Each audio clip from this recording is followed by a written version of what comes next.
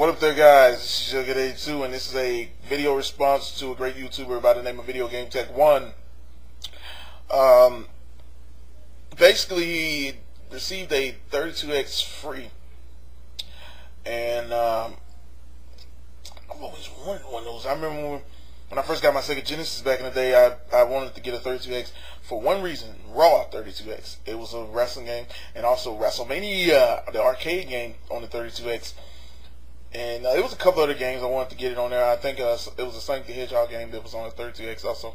And I wanted to get that as well because uh, it was enhanced graphics, almost 30, uh, super 32-bit in, in terms. Uh, that's why it was 30, called the 32X. And it just uh, was something I always wanted to have also. But to get it one free, congrats, bro. that's, that's, that's a hookup. And basically this video response is about um, Noel uh, said that uh, what deals have you guys ever gotten on a game or a system or a game where you got it free or just got it for a really low price? And there are two systems I received from a great YouTuber by the name of Big Daddy Darth, uh, NES and a Sega Genesis for free. I never did anything, you know, uh, to you know, I I never paid anything for them, and he sent them, and it was really cool for him to do that. Uh, as it relates to something I got on my own, sorry about the burping because I'm drinking a good old 211. But yeah, as it relates to actual games that I've bought on my own, uh, there are a couple of games. The first game I have here is a game called Bubsy. And uh, it uh, for the Super NES. Uh, man, I didn't know anything about this particular game series. I know a couple. I found that there were a couple other games that came out for the system, uh, for not only the Super NES but the Sega Genesis as well as the PC. And Bubsy is kind of like a. It's kind of like a Crank, uh, Conker's Bad Fur Day character if you think about it, or the remnants of them. Uh, very very cartoony game, very very colorful graphics, really fun game, uh, made by Accolades, great company uh, that made all earlier Super NES games and so forth. But uh, this game is really in really good condition. As you can see, the front cover of the game, the actual, the back of it. This has a little bit of writing. You barely can tell though, and it's really clean in the inside. Every time I pop the game in, it plays just like that. Really fun game though. The next game I had, the game, tongue tied. The next game I have is actually a wrestling game because I'm a huge wrestling fan. And this game right here, I never even knew they actually had it for the Super NES, and that is WCW Super Brawl. This game features a whole bunch of wrestlers like Sting, and Nature Boy Ric Flair. Woo! Big Van Vader, it's time!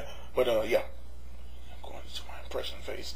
But yeah, this game right here, it's, when I first played it, I played it for about two or three days, and I just put it somewhere because I thought it was very, very hard to play. And then over time, I realized how you could really get into this game and how you can really actually play it.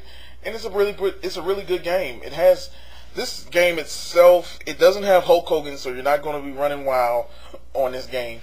But uh, it does have a bunch of classic WCW wrestlers at that particular era because the game was kind of dated when it came out because majority of these wrestlers weren't even in the WCW anywhere. We're in the WWF. So, you know, really, really great game all in all. And I got this game off of GameStop or uh, at the time EB Games and before they merged and whatnot. And at that time, they still sold Super NES games and uh, older games.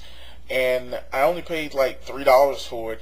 And it's a pretty rare game because many people don't even realize that WCW had a wrestling game for the Super NES. They know they had, they had one for the NES, but they didn't know they had one for the Super NES though. So yeah, pretty rare game to me to have a find. By the way, on the Bubsy game, um, I paid like two dollars for it, and I found out it's if it's a box copy, it can go anywhere between fifty and sixty bucks. Uh, the next game I have is a game that uh, I got because of a great YouTuber by the name of uh, LMA187 uh, suggested it to me. I still haven't played this game because I'm, you know, I work, and also I play a lot of Call of Duty when I actually get a chance to play some gaming. And this game right here is The Legend of Dragoon, and I got it for five bucks. Let's see if I I put it up there today. Five bucks. Still have the sticker on. I don't know why I didn't just take it off. But five bucks. Got it from a pawn shop. Found out this game, and it is complete except for the manual. It's not so it's not completely complete, but it has all four discs. And I found out this game can go anywhere between 70 and 80 bucks. So this game, other than me not having the manuals, I probably would still have like a forty dollar game right here, and I only paid five bucks for it. So I really think I got a good deal on here. And uh, like I say, I constantly look at the back of this game because it's really really amazing.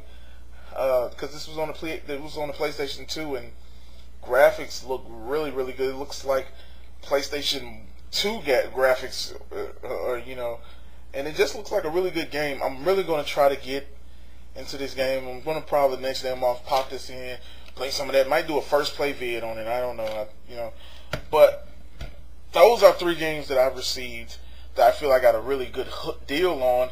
Uh, you know, but yeah, if you guys haven't seen Video Game Tech One's channel, he does a lot of great reviews. He's a really great creator, uh, wrestling creator. If you have a wrestling game where you know you do creations on it and stuff, because I like seeing videos like that. I like seeing people who take the time to put together stuff on their games. He has just recently received WWE 12.